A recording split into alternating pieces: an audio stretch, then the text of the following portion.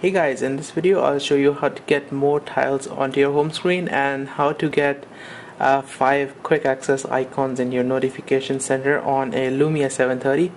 So uh, in my video uh, some guy commented that this is not a Lumia 730 and this is a phone with a bigger screen. But no the font size on my Lumia 730 is actually small. And let me show you this is indeed uh, Nokia Lumia 730 dual SIM.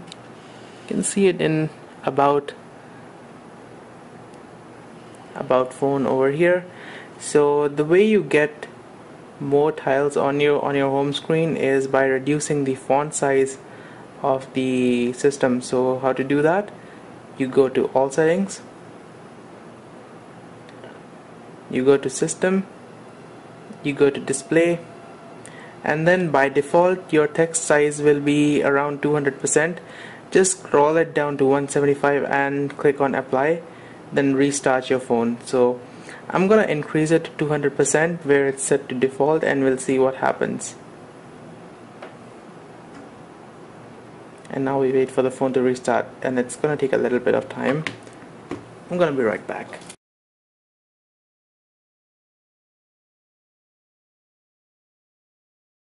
Okay you guys can see the phone has started up and and there are less number of tiles on the home screen so this is how it looks when you upgrade from Windows Phone 8.1 and you can see the number of quick access icons has also decreased from 5 to 4 so to increase them uh, like I showed you before go to all settings.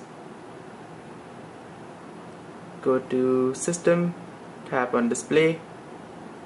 Reduce the text size to 175% and restart and now we have to change another setting. Once the phone restarts we have to go to start and uh, tap on show more tiles and I'll show you just that in a moment.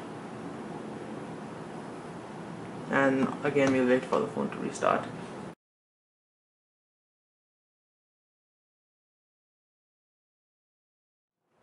Okay now you can see there the start menu is still not uh, showing up all the tiles it's not it's same as before and I'm gonna show you how to do that how to fix that.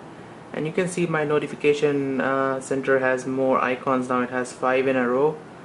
So to do so to change the start menu layout gotta go to start. Go to start scroll down and tap on show more tiles.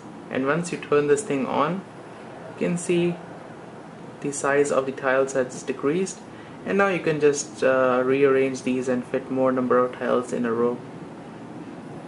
Very very easy to use. And yeah that's all you need to do.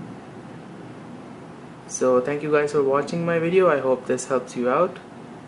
And do stay tuned for more videos like these.